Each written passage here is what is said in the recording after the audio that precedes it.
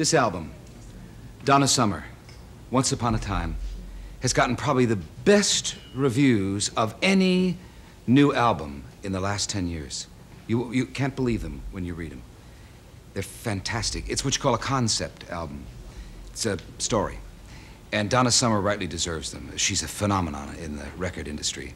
She also has a movie coming out, as Neil told you.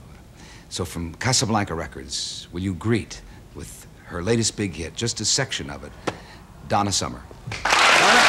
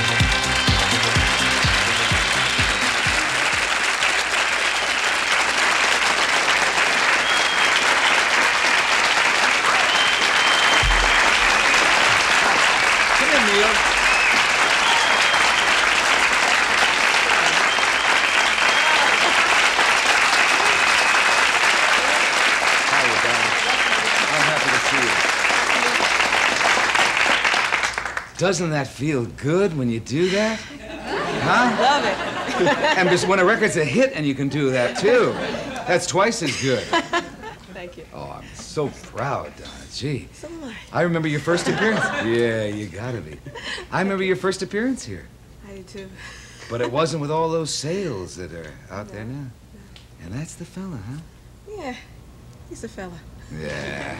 You should know how fond Donnie is of Neil and Joyce. They've been really great instruments in your life, Yeah. haven't they? They've been in, they've been very um, instrumental in Right. everything I've done, and have participated in every part uh, of my career, right down to waking me up in the morning.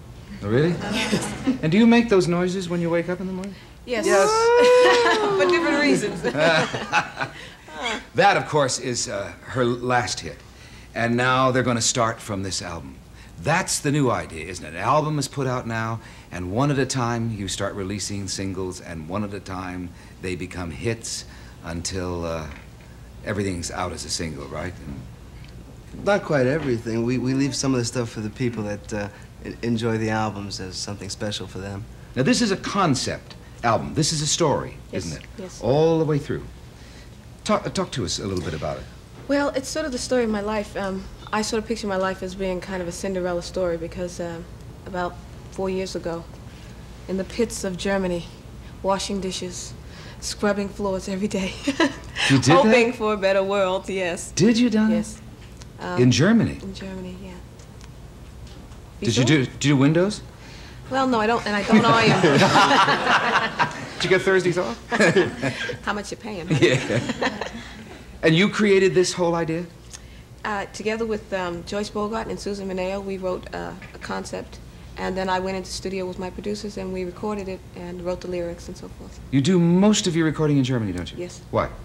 Because I'm at home in Germany, and um, because of the atmosphere, basically, I th- studios are like home. You uh, you get so accustomed to feeling secure that uh, being somewhere else can totally disorient you. That's a new thing in the industry, too. The Bee Gees were recently here. They do everything in a studio in Florida mm-hmm. and won't do it anywhere else. So I guess it is like a second. Yeah, home.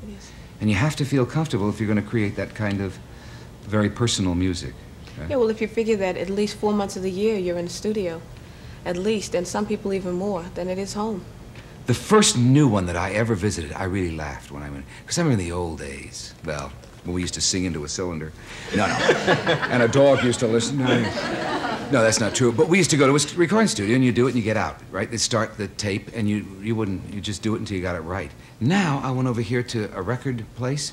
They had saunas, you know, water beds. The groups lie down in between takes and everything they're fanned. Everybody fans them. Bring in the best foods from the best restaurants and it really becomes a party for a week until they create. Nah, not always. Oh, not some, quite. Some, some people can spend, some artists can spend two, three months in a studio. Donna walks into a studio, and if it takes more than three days, I mean, it's a long time for her. You know, she just walks in and just picks it up and does it. All business, huh, Donna? I need the money. Is it all work and no play, Donna? Well, three days of work and that's it. But I, I only record as long as it's fun. And I feel like the faster I get finished with it, the more money I earn, the more fun it is to go to the bank. Yeah. And the bank is in about every country in the world, isn't it? I pick up those trade magazines, and you look, you can see what's uh, what's cooking in Italy and uh, France and Germany and England and Australia and New Zealand. And in every list, the only American artist who is in every list is Donna Summer. You just sell everywhere that somebody has a stereo or some kind of record player. I get letters from Africa. Do you? I don't know. That's nice. That is good. From this album, you're going to do what uh, is your new single, I Love You. That simply says it. Donna Summer.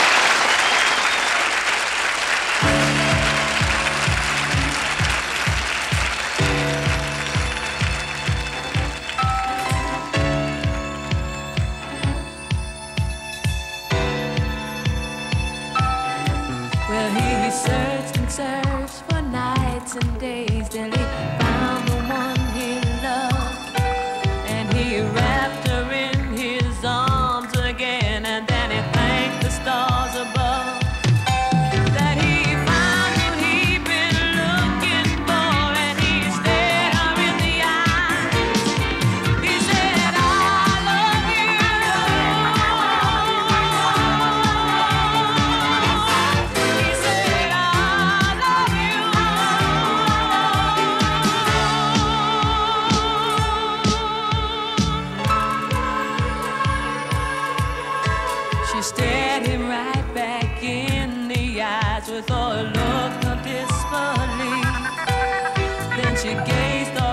into somewhere